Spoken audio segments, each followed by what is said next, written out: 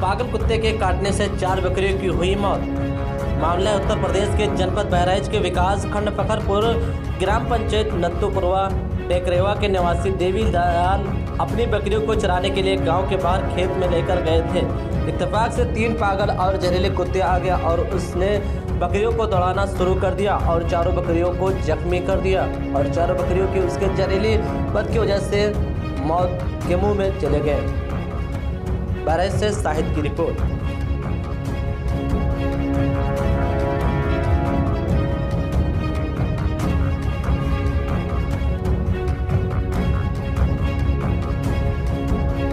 नाम है आपका? तेज बोलो। देवी दया गाँव कौन सा है ये? थाना कौन सा है? बौड़ी। क्या हुआ है आपके साथ में? कुत्ता ही से सगड़ी चलता है और कुत्ते के भाई दिन चार चार ठो हम्म, कौन सा कुत्ता कहाँ से आया है? ऐसे पूर्व से आए मतलब अ, भिलवाड़ा का। भिलौरा की तरफ़ से आया आए है उसे बदवानी बदवानी से ऐसे आए।